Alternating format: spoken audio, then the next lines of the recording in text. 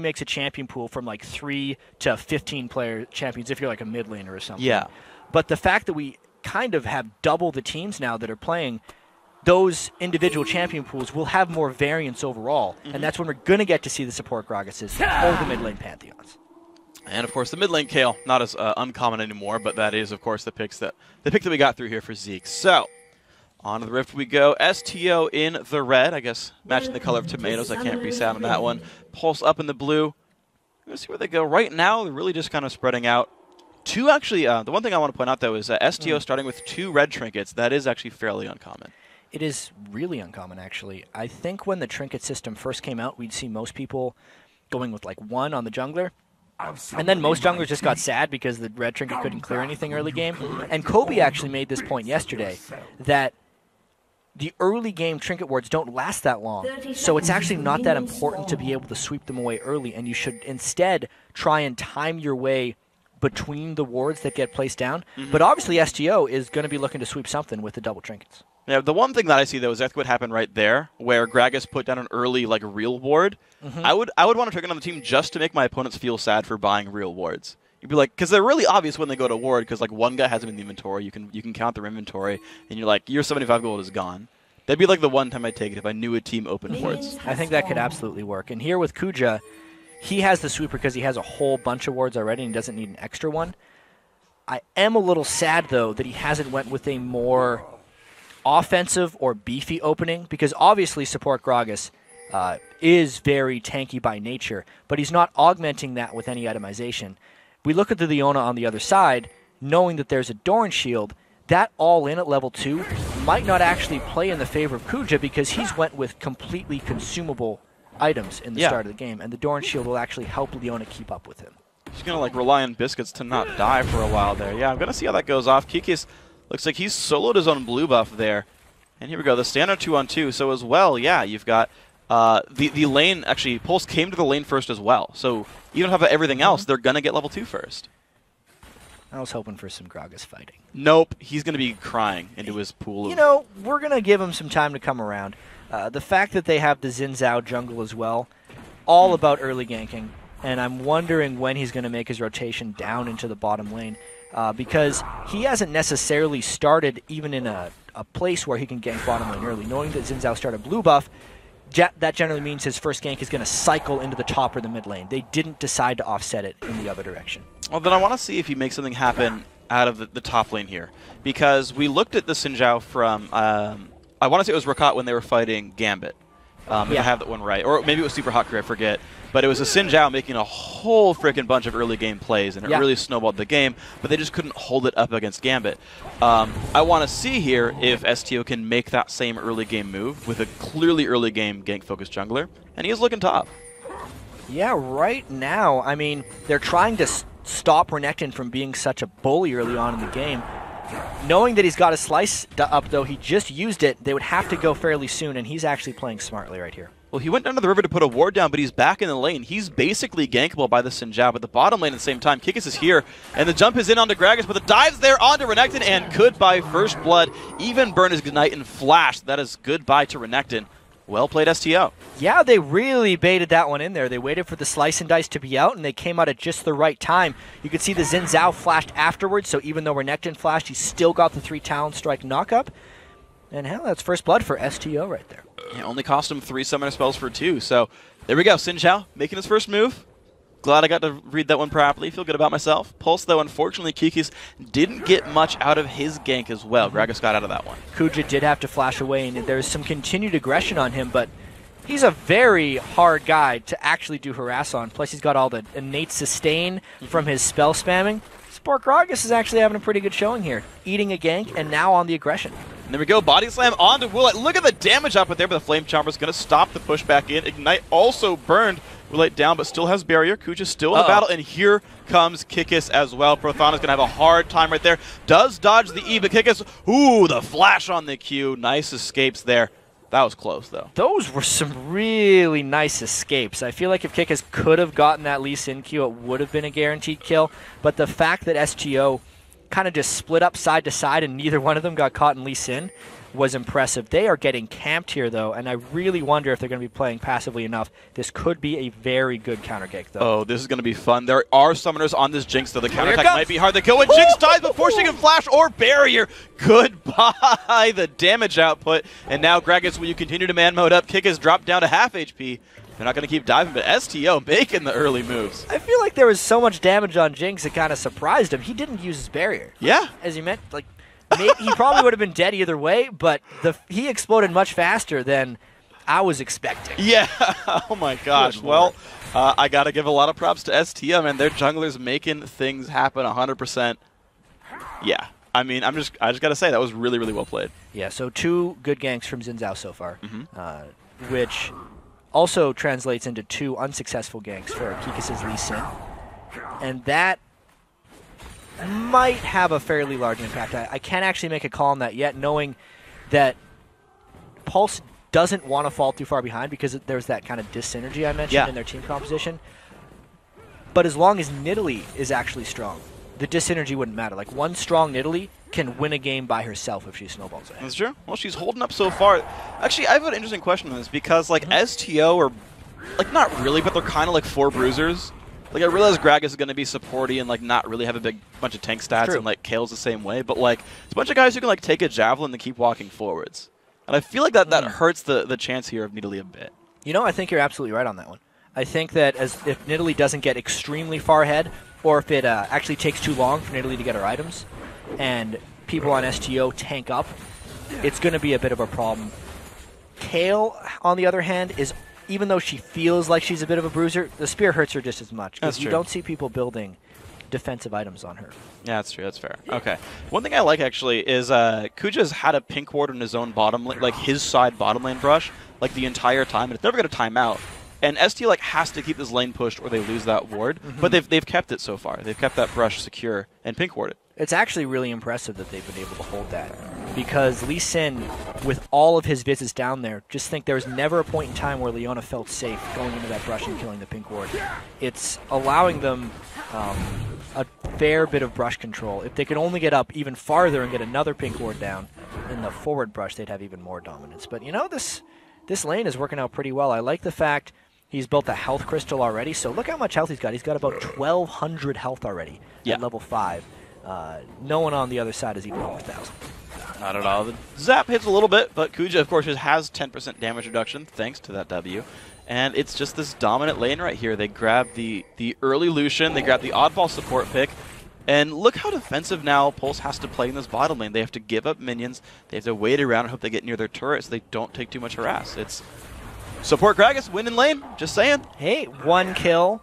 That is one more kill than the other bottom lane has. Yeah. It has to be working. But And in all 5 CS. seriousness, it is working out fairly well. But because uh, Kag- Kaglara. Kiglaro, Yeah, you're a master at names, Kiglaro did give him the support on that uh, gank attempt. it's fair. Alright, so Xin Zhao may be most of the reason that this is working, but don't worry about it. Gragas gets all the credit. That's how it works. Uh, Buff's just getting traded around right now by these uh, these junglers. Nothing too major happening. The mid laners got blue buffs. Actually, yeah, mid laners would have got blue buffs by now. Um, and it's really back to sort of the laning phase here. Only 800 gold game, so pretty close here on both sides here. Uh, no dragon attempts either, and no really major turret pushes. So uh, we've slowed down until we see another jungle gank maybe. Yeah, a lot of that had to do with the fact that we had conventional straight up lanes. Mhm. Um, Renekton in the top lane, though, has actually not done anything to create an early advantage over Olaf because Xin Zhao has had so much presence. This is really going to help STO as this lane moves farther and farther because if Olaf gets ahead of Renekton, Renekton has a really hard time becoming involved in any facet of the game. And and Gob is sitting here. I think he's maxing Reckless Swing actually, and just trying to chunk the health bar uh, lower and lower on Jokies, just to make some kind of like dive even easier actually as they go through on this one. Um, and you're seeing like the lane is he's not even like freezing it for for Xin Zhao. Sinjao pulled into the brush right here, but like it's not the same bait like last time where it's clearly going to shove into his turret. Yeah, this is one of those things where he's actually hoping that Lee Sin ganks, and it's gonna end up wasting his time. I think there's not a very likely chance that Renekton would just decide to get aggressive all of a sudden without backup. Yeah, so nothing at all. These guys basically. I think we're just going to start counting how long it takes for Zhao to realize nothing's happening right here. He's started recalling twice. This is his second recall attempt right here. Finally, the lane unfreezes. It took Oh, this long. go. Yeah, and at this point, they're pretty certain that either Lee Sin isn't there or that they could just win a 2v2 because Gob and Kaglara are just so much healthier overall that even if a full health Lee Sin came in, uh, they would be absolutely okay. Even the items, it's just two Doran's items. The slow does land on a Joki. He's forced to the flash, and they're just going to go. No, they're not. Okay, no knockup, but it does force the flash out of this one. But uh, Kikis has been spending his time bottom lane, and Pulse finally got control of the bottom lane as well. Oh, I take that back. Okay, never mind. Nothing happened. They get control of the ward. They also have control over Dragon here. And that ward's finally going to go down, mainly because I think Kuja was unable to get Woolite back with his ultimate. Kikis has just spent so much time in this bottom lane. Uh, the support Gragas just, I think for its novelty, has changed the way Pulse has decided to play this game. I guess you got to realize there's very interesting initiation from that as well. Like, you're right that you, you're not used to, like, what can a Gragas Barrel do to me bottom lane all the time. It's certainly not going to be as bursty as before. You're not going to have, like, the No. double kill from a QR, but... Yeah, very small amounts of damage. Because I, uh, when, when we get back to Kuja, we can check what his skill order actually is. But I wouldn't be surprised if he's not maxing barrels at all, and if he's actually maxing. He's maxing barrels. yeah, one in W, one in E. But you're right, like... I've t- seen it done in multiple ways. I've Yeah. seen people put multiple points into W just so they can auto attack and kind of like headbutt people a little harder. And you sort of talked as well about how Jinx is going to have a hard time against Leona because she excels at locking people down. Well, Gragas excels at making immobile targets go into their team and then locking them up afterwards. So it, it all actually kind of works in a similar way for what that's worth. Uh, I still don't know how Common's going to stay in competitive, but uh, so okay, here we go. It's competitive right now, freak. It is. They're winning the game. That's true. In in further competitive games outside of STO. I, Um, I accept. Okay, okay. Uh, here we go. So the guys are chilling in their lanes. Most of these lanes actually staying very equal in minions. You mentioned before Nidalee uh, was going to be a big factor here for Pulse. Kikis again bottom lane. Gee, Holy, He he just- is just spending so much time right in this matchup. They're actually sending a fourth person down right now with Needle. Here we go. The pressure is on Kuja. Getting stunned up. The dive is there. Can Kuja get out? Ulti, and it's going to dodge the rocket as Uh, well. Ignite won't kill. Neither will the Javelin. And Woolite, look how low. Getting cold. Uh, that's a missed flash as well. So goodbye to one right there. The chase. Oh my god, that Javelin. Prothana's down to 300 health. But who actually died? Nobody died for STO. They were able to turn that around. Miraculously, Kuja got away from that fight after everything was dumped on him. And then because they spent so long trying to kill that monster Gragas, just take a look at this. He eats all of Leona's spells, gets stunned, Lee Sin Q to the face, but then close dodges. He gets that was kicked while he queued away because it wasn't enough to finish. Everything else was happening. Nidalee couldn't finish off. The teleport came in from Zeke's, and that's really the big turn there. Woolite was way overcommitted for the kill. Nidalee could never make it around because she felt unsafe going through when Kayle was there, and just meant the support never arrived for Pulse. So that teleport counter gank, kind of nice, and in fact, it even manifests in a couple of extra minion kills uh, for Zeke's. Like he's not really trying to kill his lane opponent, but he's certainly trying to turn the other lanes around. And, and like I'm thinking about that, I like it because you've got Xin Zhao constantly ganking, you've got Gragas setting up plays, and then Kayle can just show up whenever she wants. It's a little strange, and it's good for them that it actually paid off right now. Uh, I think they paid a cost for it earlier on in the game because Kayle was laning against Nidalee with no ignite, meaning there's not a realistic situation where he can go aggressive on Nidalee, hmm. and it does allow Nid to free farm a little bit. It's very good that they're able to get the teleport turnaround there. Yes, that was pretty big. It gave a kill away to the AD carry, though. Prathana's going to have that one because of that kill counter gank. And here we go back into the game. STO now a little bit farther on their gold lead. It was 800 before. Now it's about 1,400. So these kills are growing them farther and farther ahead. Mm-hmm. Minions still some pretty good parity here. But there's Kuja finding Woolite. Oh, does not knock his opponent the correct direction. But the engage is still Whoa. coming on. Look at the burst again on Agragas. Can he survive this one? Nope, that's going to be a kill. Can Lucian chase down, though? Flashes. Oh! are you kidding? The health potion keeping her alive. 34 health right there. Prothana now getting locked up by Elendrix, and there comes 760. Prothana, goodbye. Easily picking that one up. STO's luck kind of ran out right there. Pulse pulled that one off. They just kept going in again and again, and I believe Kuja hadn't itemized much of his tankiness before that fight. I could be wrong on that one, and just wasn't able to retaliate. I think definitely knocking him in the wrong direction, Jinx, at the start of it is what sealed it. Yeah, no way to counterattack back onto the AD carry. Good stuff here by Pulse. Turn that one around, and they're going to start up on the Dragon now. So, 2 to 3. Gold only 400 apart. Pulse very much still in this game, despite the amazing early aggression. But STO not happy to let this one stand. Kaglaro's going into this one, gets the knockup onto Elendrix. The fight's going to go on. No Javelin will land, though, and Elendrix is in on this fight. And look how low Xin Zhao has gotten. Forced to run away. Kuja in this battle as well. Dropped dangerously low as well. NIQ picks up one, picks up two. That's 4 to 3 on the kill score. And now Zeke's in a really bad spot. Forced ulti himself, but very late into this battle. Trades flashes with the Leona. Two for zero, still control over Dragon. Mm-hmm. And STO came in one after another instead of as a cohesive unit there, which is why they were getting picked off again and again. And this might be Pulse trying to turn around this game. I did talk about Nidalee and if she gets a little bit ahead.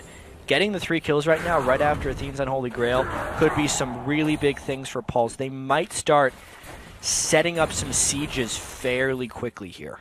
This is a pretty good setup now, now that uh, NIQ does have some of that gold. You can see 6,100 gold on him, barely 5,000 on the second, third, and fourth place players in this game overall. So he's got a 1,000 gold lead on anybody else.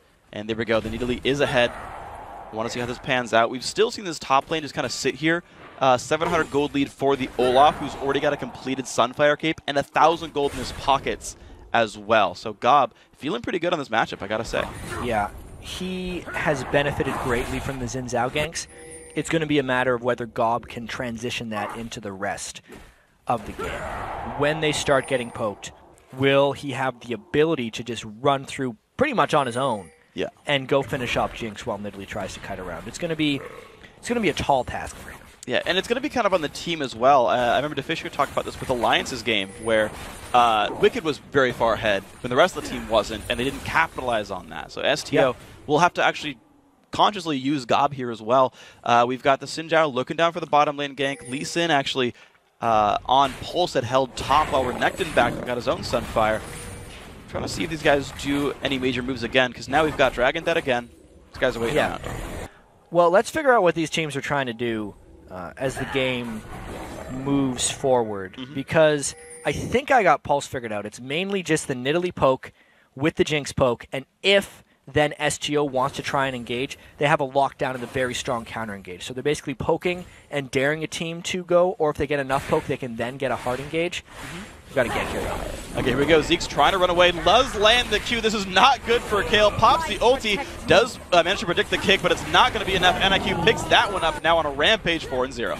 Ooh, and even bottom, Kuja just trying to come in and help. Look at that burst. One more shot to go. Woolite gets that kill, but we have a beautiful Gragas ultimate. Woolite trying to run away. The body slam lands, but here comes the, oh dear, the flash forced out. Still the engage coming through. Nidalee coming to the side as well. Will it be enough? Zhao then a half HP. Jinx still firing in, and Lee Sin tanking up some of the turret shots. That's another kill picked up. Kaglaro's going to go down as well. Every single kill keeps going to Nidalee. 6-0 here. Pulse turning it on. Wow, and this has just completely turned itself around. It was three kills to zero for STO yeah. in this game, and now it is actually eight kills to three in the favor of Pulse. Everything going their way, and that I think that's that's what their plan is going to be from here on out. They're winning the lanes now, so it is actually on STO the emphasis to initiate. I think Pulse is a fantastic spot. Yeah, Pulse seemed to add that P to STO. Up, oh, go for it. We got a replay going on here. There's the engage as Prothana just the lockdown is so immense. Just burst them out mm -hmm. right away. And this actually happened because STO was trying to bait an initiation from Pulse. They just got a little bit ahead of themselves and actually underestimated the burst potential of Leona and Jinx together. That's how this whole situation turns out. You see the cleanup from the rest of this one. It's good turret dodging and uh, tower aggro juggling as well. NIQ gets out with one shot to go on him. Lee Sin Shield even came by at the end there. It seems like Pulse just added the P to STO because everything's kind of stopped for them now. Gob just, you know, he's the only guy doing well now. Like, the lane's got set up for success. He's the only one who's carried it through right now. Everything else has been turned around. And here's some of the strange things. So, Xin Zhao does not transition into late game at all. He is one of the worst scaling champions in the game. Mm-hmm. His early ganks are fantastic, but then the fact that you need to get like damage and also tankiness, but he also scales off attack speed you just cannot. Those items that synergize all those things don't exist. Mm-hmm. Uh, so he is it, struggling. However, Kayle is one of the most powerful late game champions in the game. The, when the game gets extremely late, so STO is kind of caught between two types of game plans right now, where Xin Zhao is feeling a need to kind of take over the game a little bit, whereas Kayle with the teleport has just been a passing laning phase the whole game, and the combination of those two is not working out. Yeah, we've really only seen that one teleport gank anyway, so uh, not turning around much anymore. I think they really could have used the kill maybe in that last fight to make something happen a bit better. Of course, that didn't happen here just yet. So, the Nidalee, of course, has turned on 6-0. Actually, that was just a Javelin just striking down Kayle to 1 3 HP, and it's going to give them the mid lane turret here for Pulse. Of course, top lane was answered back, but you're right. Pulse looking really good right here. 4,500 gold also putting them ahead. Yeah, and this is the siege that they want to pull off right now. They're going to mm-hmm. try and poke with as many Nidalee Spears as possible. STO's seen this coming from a mile away, though, and they're trying to initiate from the back. They have a bit of a numbers advantage, I feel, as well. There comes the rest of them. Nope, good fight at Kaglaro. Gob, first ult and run away. Is Kuja going to get caught a little bit here, actually? Half HP. There's the jump in. Caleb's going to keep him alive for a little bit longer, but that's still Kuja going down two for nothing. That flank did not work. That was the saddest flank I have seen in quite some time. Pulse was all over top of them. Elendrix on his Leona locked them down before they got there. And it ended up just being Olaf trying to run to safety. And they lost the turret anyway. Yeah, they took it down. So Pulse, they got a couple of they got a couple of kills under their belts. 20 minutes turned around and sort of the pulse is quickened. They've just jumped on and have been starting fights a lot more, kind of forcing their way a lot more.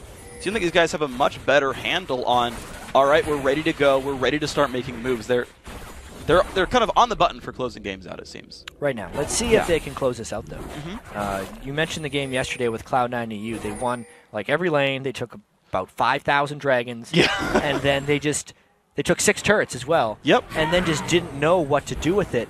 We might be in a similar situation fairly shortly for Pulse here. They're up three turrets to one. They've gotten 10 kills in a row, but what do they do? Let's see this Dragon fight. Now, STO right there with complete control over this side. It's not going to get stolen away by Kikis. He will jump over the wall, so no big cost to Lee Sin, just nothing gained. STO gets some of the gold back, but still, uh, despite having a bunch of dragons, they're, they're very much behind here. Mm -hmm. 5k gold, still a very painful amount of gold. 760, the strongest member of Pulse by a wide margin, has a completed death cap and he's going back for a little bit more. I think he did. He is going back to base. Yeah, the recall's completely yeah, he's going to be working on his void staff yeah. next. And even though we mentioned a uh, fairly tanky lineup from STO earlier, it's not there yet. No. They do not have magic resist in enough places. Xin Zhao in particular is actually going to be another squishy target who, if he takes spears, is going to be hitting down. And when it's just Gragas and Olaf that are like the good guys for taking spears, and the other three are squishy, it's not enough. Nidalee will poke them down. Yeah, absolutely. There's barely any healing whatsoever. A rank 2 Kayle heal. That's pretty much all these guys got right there. And of course, she's still working on her second big item. I always like kind of comparing the lanes. And you know, like Kayle's supposed to kind of win her lane early on. Nidalee kind of scrapes things together. But Nid's like halfway to her Void Staff, already has Athene's Death Cap. And uh, Kayle's like waiting to complete Lich Bane here. So Yeah, it's uh, not a comparison. No. Right now. And sure, Kayle got a kill by teleporting down, but going up against a barrier in Nidalee without even an ignite means you were just allowing 760 to farm mm-hmm. on Nidalee entirely. Yeah.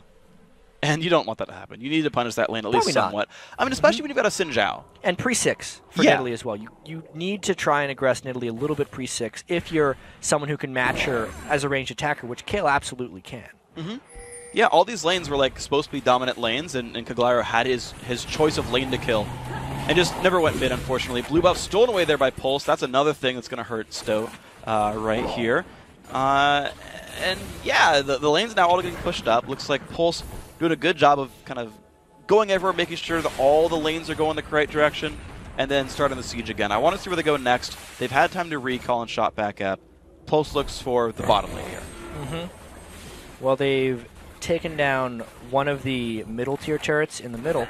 Uh, now they're actually going bot lane. And I actually do feel like with the inhibitor changes to the game, where it's just the one lane that has super minions coming through, I think this lane is the most important lane to actually get the inhibitor down in first, because it puts the most Baron pressure on the enemy team. That was a lot of damage. That was a lot of damage. That hurt a little bit. He nearly one-shot Prathana safe to say Nidalee is in that place right now. Yes. Where she kind of wins the game for you. Yep. Let's see if they can do it. All right, here we go. Bottom lane, 25 minutes in, 10 to 3, 7,000 gold, a whole bunch of numbers, meaning yes, Pulse are winning this game right there. A little bit of poke on Nakuja, doesn't matter too much just yet. Lee Sin Q, not the same as Nidalee Q. Bit difference there. Slightly less potent. Slightly. I'd have to But say. one lets you jump forward and kick them backwards, which is also cool. And we have to remember that these are very important games for these teams. Oh, yeah. It's a best of one right now to see if they get to move on to the next round. Huge stuff. Huge, absolutely. Uh, and yeah, top eight becomes best of threes. Start getting challenger points. That is the system where you actually qualify for the promo tournament. You might be seeing the winner of this team in 10 weeks' time playing for a spot in the LCS. This is this is how they get there. Yeah, but the good news is there's actually kind of two challenger series for every LCS split, so they have multiple chances to get in throughout. Yeah, even if you lose here, you go back to rank 5's ladder. They just reset today, actually. So if you want to be here, ladders reset. Go play rank 5s. We'll see you in about five weeks if you make it. And it's important to note that most of these teams who qualified, they all made it through rank five. Yes. Right. So finally, I've been wanting rank fives to have this competitive edge like matter, for yeah. like three years because it used to be that very high rated ranked fives. People were saying, well, why don't you just scrim? And I was like, because I, I just want a ladder. I just want to queue up, Yeah. get a random five people I'm against, and just go and play. And this.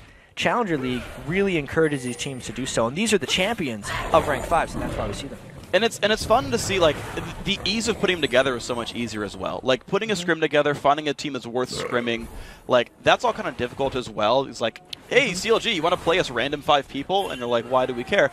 Um, but here it's like, well, they're all going to try really hard. They're all going to put teams together. Like we've seen some very successful teams of just really good solo queue players saying, let's just run for it. Like just mm-hmm. make a team and play, no opportunity cost. And we're seeing teams try this out right here. I like it a lot. Yeah, so it's Pulse that is now just putting a lot of pressure on the top lane. STO's getting something back, but it's just indefensible turrets, I think. It's Yeah. generally a smart turret for Kayle to take that down because they weren't going to be able to defend the outer turret. Yeah, so a good pickup there, at least by STO. But of course, Pulse, there is those magical six turrets, the ones that you tend to get by just trying kind of hard as the winning team. So here, here's the test. Okay, so Javelin's hurt. That might be all it takes What's for them test? to pass the test. Oh. uh, can you get in past this? Can you get past true. the six turrets? This is the final wall of defense, and it is only a 7,000 gold lead. And Kayle does have the Lich Bane, which is an incredibly potent item for her. Renekton is yet to have a big impact, but he does have kind of the key items that he would like to have. Sunfire and Visage, yeah, he's pretty happy. They uh, they want to take the test later. Yeah, okay. They're gonna they're gonna get it later. They're gonna wait for finals. This is just midterm. They decided they're just gonna wait. Uh, no biggie here. Looks like they're grouping back towards mid, and and I do want to point out Pulse have taken control over the topside jungle. There's a whole lot of blue wards over there, so they see the route around Baron. Um, they see that whole sort of area. Dragon up in eight seconds. That's pretty much free for these guys. I don't see it being contested. So uh, Pulse at least is doing some like bookkeeping, Yes. and then they'll be like, all right, we'll try again when we have a little bit more gold. And so the average level on their team is around 13 or 14. So Dragon is close to its max amount of gold. Um, one thing that has changed in the Dragon with the 2014 season, I know most of you guys have probably gotten used to it at this point, but uh, the Dragon's level actually scales throughout the game based on the average level in the game. And it caps at level 15, starts scaling up at level 6. And when Dragon is at its max level, it gives 260 gold a person. Yeah. Which, if you really start like thinking about, um, is two to three kills. Which Yeah. I would say it's a rather important objective. And knowing that Pulse is already ahead, as long as they're keeping studious bookkeeping timers on that thing, Mm-hmm. uh, they're getting kills for that. Yeah, and, and think about it as well. That's 40 less gold per person than Baron. Yeah, Like exactly. I mean, you think taking Baron's a big gold swing? Like Dragon's basically there come late game. Um, the other mechanic I like mentioning as well with this one, since we're waiting for for the pressure to start back up, is it gives bonus XP if you're lower level than Dragon. If you're there around Dragon and it dies, it'll give you a bunch more experience. So, like again, if STO takes it for example, they'll catch up in levels pretty frequently. So. Uh, you'll hear us talk about uh, trying to keep it off the table as a counterattack or a comeback mechanism as well. So Olaf did have to use his ultimate right there. I wonder if Yeah. Pulse is going to try and pull something aggressive off this. I think uh, a more experienced team or an LCS team would try and push something uh, almost immediately. The fear, though, is that they here. That, that what just I saw the Gragas and I was like, they can't do Baron because there's a Gragas on the other team. had the same thought. But they can do Baron because that Gragas doesn't do any damage. It's Mikael's Crucible Gragas. Uh-huh. He'll heal you, which doesn't help you steal Baron, but for what it's worth. Uh, there we go. Baron Yeah. is being started. Giant Nidalee Javelins helping that one as well. I like the attacks be given to Jinx as well. They're in a good really combo. dangerous spot right here. Here comes the jump in. Willet's going to be under fire, but does have flash. Jumps over the wall, but now is kind of isolated against Baron right here. STO is taking control of that side of the map. The uh, culling comes across, only helps deal damage to Baron though, and a javelin is Prothana. Pulse don't get anything from this. Yeah, I think that was a sloppy Baron by Pulse, but they're going to try and kind of salvage that uh, afterwards. The fact that Jinx and Nidalee... Oh! Okay. That worked. Salvage operation Mm-hmm. kind of starting. The fourth death comes down for Xin Zhao, and they're going to try the repeat knowing, knowing there is no smite that can stop them. This time, though, notice how everyone on Pulse comes around the Baron pit, so they don't have to do that awkward over and back in the walls. And look what just happened as well. STO basically given this up. Kayle ran bottom lane. The Lucian's over by Wolves as well. No contest whatsoever. Pulse, nice Baron picked up 11 to 3. These guys looking pretty good now. Yeah, they might actually pull us into a push right away. You can see, even though they have a lot of gold, 1,700 even on Leona and 1,000 on pretty much everyone else. They're going to go straight up the mid lane because they saw Kayle bottom, they want to get her out of there, and they think they can make something happen on this push. We got about five seconds. The turret is going to go down. None of the javelins land just yet. But inhibitor completely there as Baron Buff giving him the control. Pulse taking this one now. 11 to 3 in kills. Mid lane turret and inhib are gone. They got a Baron Buff for three more minutes. So they ate their Wheaties, they got the Baron, and they passed the test. Yes. That's that's a really big move for Pulse at this point. I just I feel like Nidalee has made it to the point where she takes over the game. Just a couple of spears has all this really happened because they haven't had real fights. That this is how this is what happens when a Nidalee gets really far ahead in a game. Is even though everyone else is there and kind of dissuading people from overcommitting and going all in, it is all about those javelins because they are literally taking 75% of someone's health from one hit. Yeah, you saw her kill the jungler from like half. Uh-huh. Like melee frontliner tank bro with an ancient golem and now a uh, giant spell as well. Uh, here we go. Okay, so bookkeeping by Pulse. They got the Baron buff. You said they had about 3,000 gold or 1,000 gold in their pockets apiece. Got another turret kill as well, and it's like, all right, let's let's spend our money, get our items. We're gonna start again in a bit. Uh, top lane's already pushing in with minions. Mid lane looks like uh, NIQ is gonna go there. Kills minions pretty quickly. Good job. Javelin hit that one. Uh, but the rest of the team's looking for bottom lane now. Yep, the most important inhibitor, as I like to call it. But they already have the middle inhibitor down. I think really Pulse has played everything but the early game here at a really high level. I think they've done most of their rotations proper. They haven't made mistakes other than that one little slow Baron, which ended up giving them Baron anyway. And they're really making STO pay for all of their mistakes. And here we go, the bottom lane siege now. The next sort of chapter in their book, if you will. They've got the mid inhibitor that's going to start spawning minions. Uh, top lane actually is pushing in towards them, but Pulse don't care too much about that one. Instead, they still look for this one. Now, the Banshees did get popped off of Jinx right there, so she is Gragasable, theoretically, if that's going to be STO's way in.